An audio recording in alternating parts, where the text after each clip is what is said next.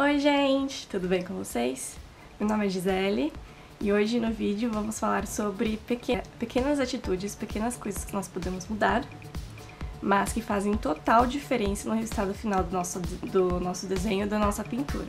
Então acompanha aí para descobrir quais são essas dicas.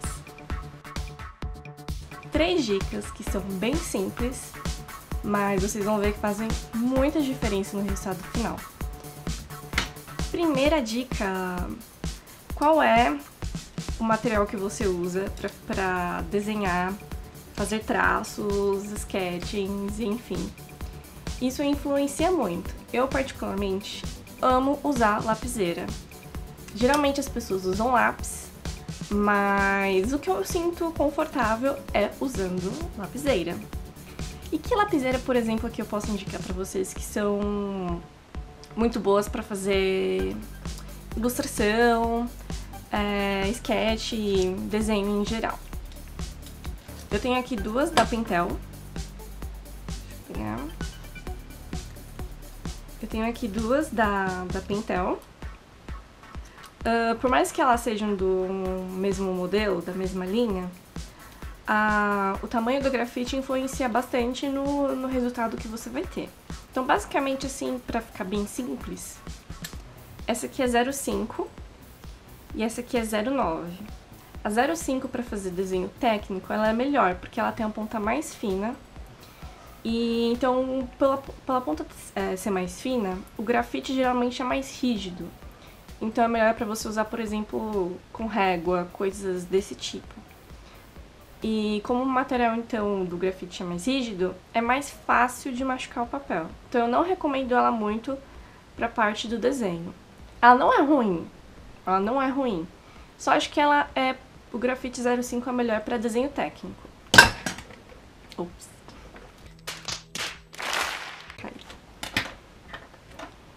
Já a 09 é, é minha favorita porque é um pouquinho mais grossa, obviamente, do que a 07. E isso permite eu escolher um grafite que seja mais macio para desenho. Já que é mais difícil a gente usar uh, grafites mais macios pelo... Porque é mais difícil de achar mesmo para colocar na lapiseira. É mais fácil a gente achar um lápis uh, 6B, por exemplo, do que um, um grafite. Mas tem alguns modelos de grafite que, se eu não me engano, da própria Pintel, porque foi do próprio Pintel que eu comprei o grafite. É possível comprar é, nesses modelos mais macio, é, macios. Então, eu recomendo a 09 para fazer os desenhos, rascunhos, etc. E a minha favorita, mas que, vou ser bem sincera, é extremamente semelhante a, a essa aqui da Pintel 09, que é a da Carandache. Acho que só tem esse modelo... Não, mentira, não tem só esse modelo de lapiseira da, da Carandache. Não, é que de pontas finas, é, esse é o único modelo é, disponível.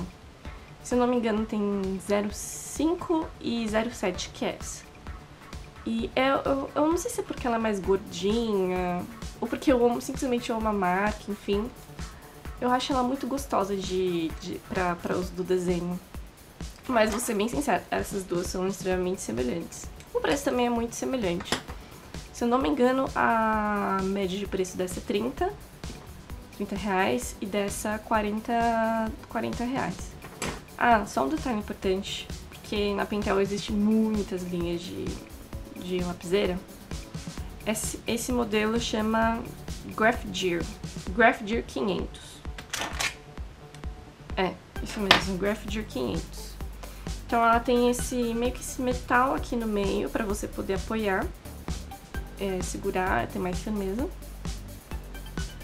E é basicamente isso, assim, que ela tem de diferente, mas o material dela, por exemplo, é melhor, não é plástico. É, é um tipo de, de metal. Eu tenho, essa, eu tenho essas duas lapiseiras que eu comprei elas juntas praticamente. Sei lá, uns 5 anos mais ou menos. E elas funcionam perfeitamente até hoje. E o grafite, inclusive, dura muito tempo também. E, então eu gosto muito dessas três. Então, se você gosta de lapiseira, são boas opções essas três. Dica número 2. Gente, que borracha vocês vêm usando para os desenhos de vocês? Porque pode parecer idiota, mas a borracha influencia muito também. Por quê? Sabia não? Basicamente, o que, que acontece? A borracha é ela que vai, óbvio, apagar o desenho, o erro ou um detalhe que a gente queira fazer. Não. Mas é a borracha que pode manchar o desenho. É a borracha. É. É a, é a borracha que pode manchar o desenho, deixar aquele borrão assim, meio preto, acinzentado, que não é legal. É a borracha que pode machucar o papel de tanto que a gente fica lá apagando. Então essas coisas fazem muita diferença. Eu tenho muitas borrachas. É, isso é bom, porque cada coisa que eu precisar, eu sei que eu vou ter uma borracha é, perfeita, vamos assim, pro, pro estilo ou pra minha necessidade. Mas eu vou mostrar pra vocês as que eu mais uso. Primeiro, não sei se vocês conhecem, tem uma borracha, no caso essa aqui, essa é colorida, mas assim, tem nada em especial pela ser colorida, é só é o tipo dela mesmo que, que é bom. Vocês vão ver que é uma, uma borracha maleável. Parece até uma massinha, mas não é uma massinha, é uma borracha. E aí conforme você vai usando, você pode ir tirando os pedaços e jogando fora. Ou se você quiser tentar, você pode tirar o pedaço que sujou na hora que você apaga e vai fazendo um bolinho só com a massinha suja. Eu particularmente acho melhor jogar fora, mas se você quiser guardar é uma opção. E por que, que essa borracha é legal? Porque você consegue tirar muito o grafite do papel e ela não machuca nem, nem um pouco o papel, nem um pouco. Não fica aquela... Ai, Sabe quando você fica apagando, apagando, apagando e você já vê que, putz, não é legal fazer isso, já não é legal fazer isso. Mas caso você faça isso, ou mesmo que não faça isso, esse tipo de borracha é muito boa porque ela, ela tem uma capacidade muito grande de tirar grafite e não machuca nem um pouco o papel. Então é uma borracha. Uma borracha. Não. É uma borracha muito boa. Preço essa aqui na Faber-Castell acho que foi 12 reais, mais ou menos. No caso, na Faber-Castell, esse tipo de borracha chama goma.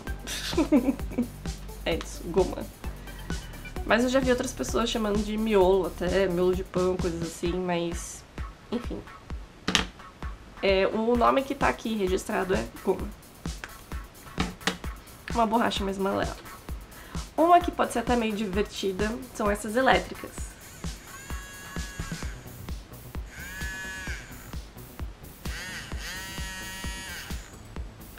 É, o que, que tem de especial nessa borracha? É, por ela ser menor, você consegue fazer alguns detalhes. E se você não for do tipo que tem. não for o tipo de pessoa que tem aquele péssimo hábito de fazer os riscos extremamente fortes, assim, de chegar e marcar no papel, isso é um péssimo hábito, não faça isso. Então você pode conseguir é, apagar pequenos desenhos uh, com essa borracha aqui. Às vezes você quer apagar uma aresta, enfim, detalhes, desenhos que não sejam grandes. Essa borracha é muito boa porque você consegue exatamente onde você quer e ir apagando. Essa aqui eu encontrei na... na... na Daiso. Foi super baratinha, 10 reais. Eu fiquei inclusive muito surpresa que veio pra, pra Daiso aqui do Brasil, porque esse tipo de coisa que você não acha em todo lugar. Então ela é baratinha.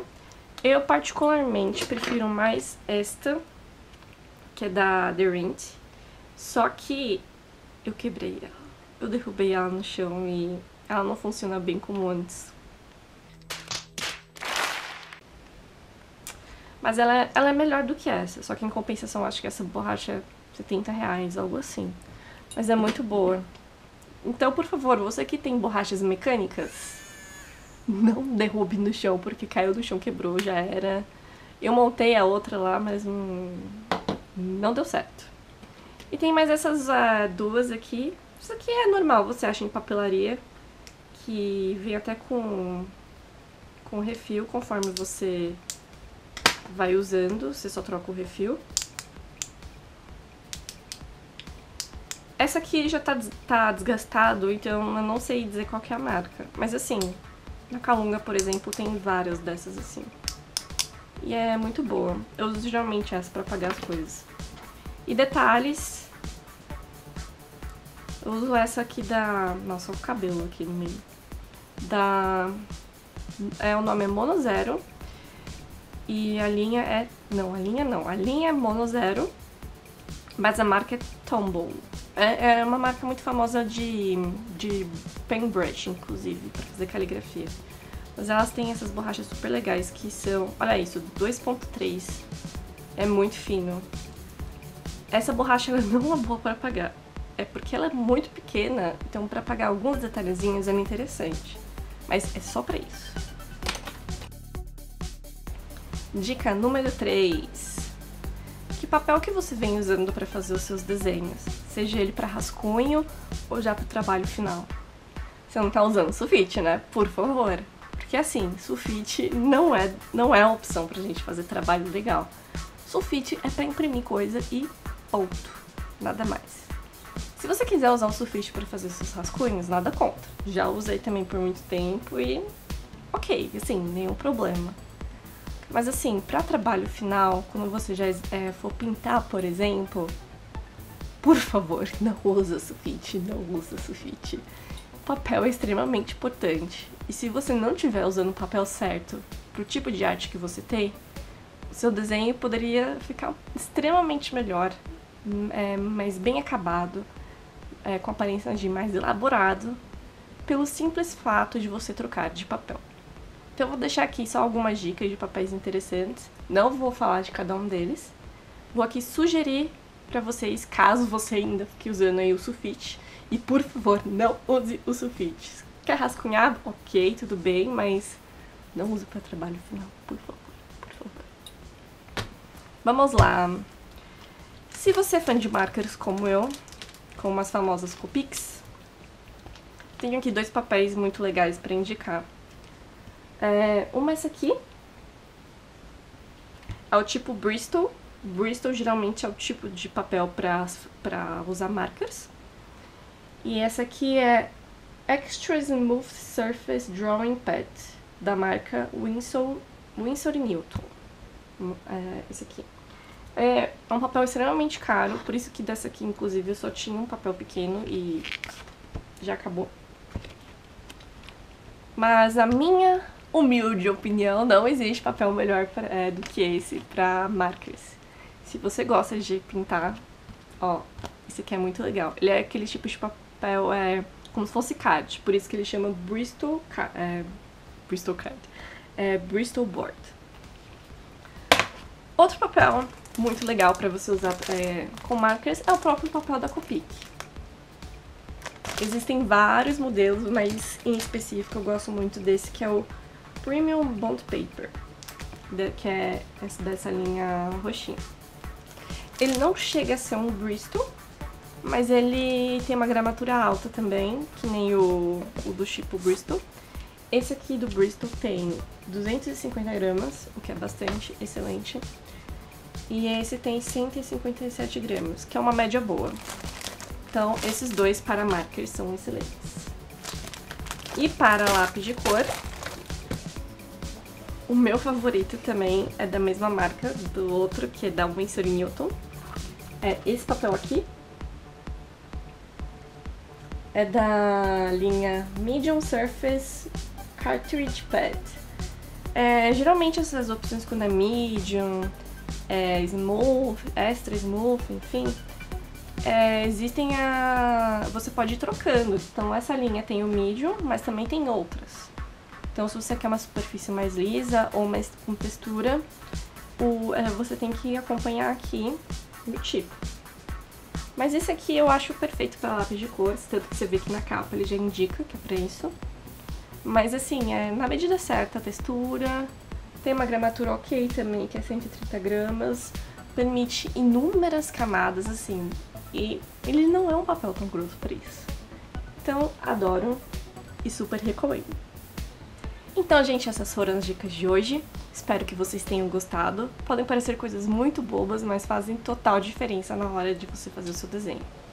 E aqui me arrisco dizer que o papel é 50% do seu trabalho. Então, se você usa um sulfite ou um papel ruim, o seu trabalho não vai ficar muito legal. Ou mesmo você pode estar usando papel errado. Às vezes você quer usar aquarela e está usando um papel para lápis de cor. Não pode. Cada papel é, tem um tipo específico e você tem que comprar o certeiro para você. Muito obrigado por ter assistido o vídeo. Se você não acompanha ainda o canal, por favor, se inscreva, dá um like no vídeo. E é isso, gente. Acompanhem, acompanhem as próximas dicas e vai treinando. Tchau, tchau!